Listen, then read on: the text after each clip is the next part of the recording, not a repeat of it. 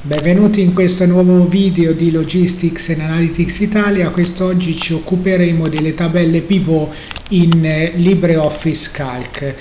Come in tutti i fogli di calcolo, anche ad esempio in Microsoft Excel, eh, la tabella pivot è uno strumento che consente di estrarre dei dati da una serie storica che forse non sono stati rappresentati in maniera esplicita. Quindi la tabella pivot è uno strumento che eh, consente di, di, esplicitare dei dati che sono in realtà presenti soltanto in maniera implicita. Facciamo un esempio. Io eh, ho scelto ad esempio di cercare eh, le classifiche dei, degli europei di calcio del 2016 perché in questo periodo eh, ci sono gli europei di calcio e ho scelto in un eh, motore di ricerca il sito ufficiale per esempio della, della UEFA Cup e ci, dove ci sono tutte le classifiche per gironi. Quindi queste sono in definitiva delle, storie, delle serie storiche. Cerchiamo ad esempio la serie storica riguardo al girone dove è presente l'Italia. Vedete questa che cos'è? Una tabella, in realtà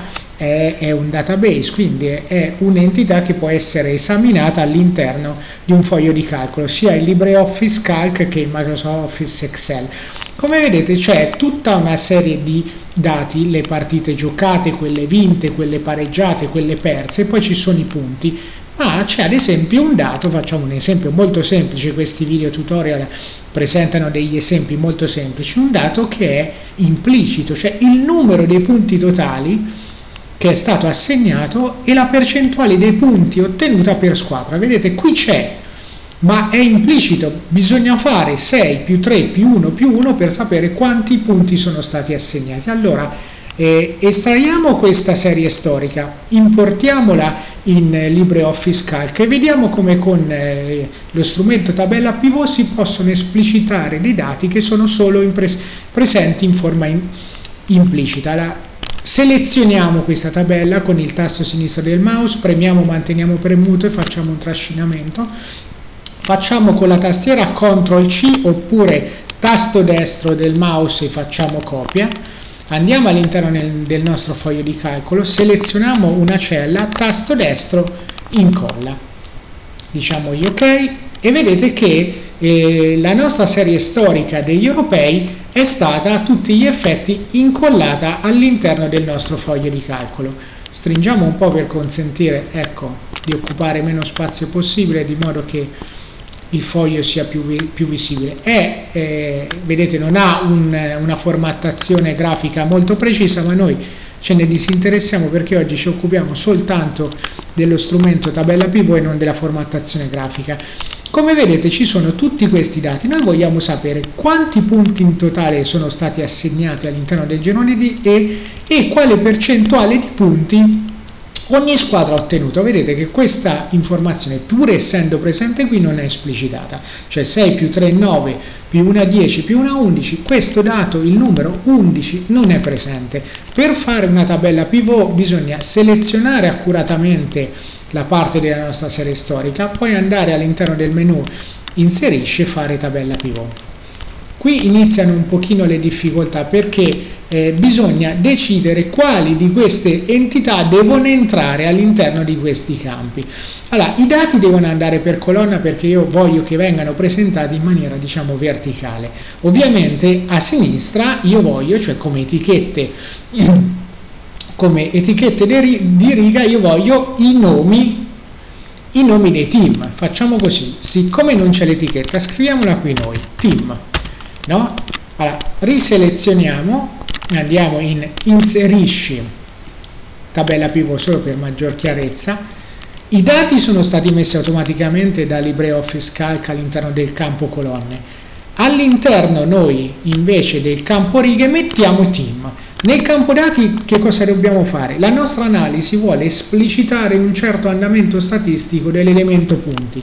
Allora noi mettiamo l'entità point. Facciamo ok vediamo che cosa succede. Prima diciamogli guardate eh, origine e destinazione. Se selezioniamo il campo selezione diciamogli che lo vogliamo che questa tabella questa tabella pivot noi la vogliamo all'interno dello stesso foglio per fare un'analisi contemporanea non in un foglio nuovo. Quindi ho selezionato selezione e gli ho detto guarda mettimela all'interno del foglio 1 nel, nel campo A8 facciamo ok. E vedete che la tabella pivot costituisce una estrazione di dati ed un'analisi da una serie storica già presente. Adesso vedete che già automaticamente è presente la somma dei punti assegnati nel girone E, che è 11. Vedete, questo dato era implicitamente presente all'interno della tabella della UEFA Cup, ma non era esplicito, noi già l'abbiamo creato eh, esplicitamente, ma noi vogliamo sapere addirittura la percentuale di punti assegnati ad ogni team. Facciamo tasto destro, facciamo modifica il layout,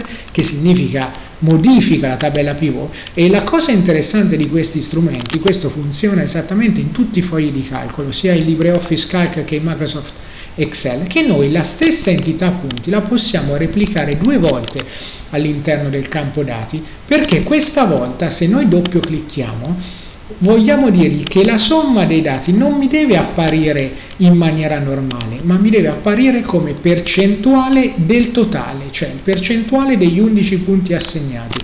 Se noi facciamo ok, vediamo che adesso la nostra tabella pivot ha, per esempio, ha 5 righe perché 4 sono i team e una è il risultato e due colonne di cui la prima è la somma punti esplicitata in maniera normale, la seconda in maniera percentuale. Da qui si evince adesso finalmente in maniera statistica per esempio che l'Italia ha ottenuto il 54,55% dei voti mentre il Belgio il 27%. Allora, ripetiamo che cos'è una tabella pivot è uno strumento che consente di fare delle analisi di una serie storica di dati scegliendo soltanto un angolo, diciamo un punto di vista. Noi l'abbiamo progettata così. Per colonne abbiamo messo i dati, che sono i punti per, nelle etichette delle righe, delle righe ci abbiamo messo i nomi dei paesi, delle nazionali ovviamente, e all'interno del campo dati noi abbiamo replicato due volte la somma dei punti, una in maniera normale, vedete valore visualizzato normale, e una, doppio clic, in maniera invece percentuale del totale. Questa è la maniera diciamo più semplice per spiegare eh, come funziona la tabella pivot. Potremmo anche fare una cosa simpatica, selezionare questo campo che abbiamo esplicitato, abbiamo detto che nella serie storica originale questa informazione non c'era, l'abbiamo estratta con una tabella pivot, potremmo andare su formattazione, formattazione condizionata, fare barra dati e, e dirgli automatico, vediamo che cosa succede, se noi diamo barra dati automatico e vedete in questa maniera con la barra dati è ancora più esplicitato il fatto che lì l'Italia si è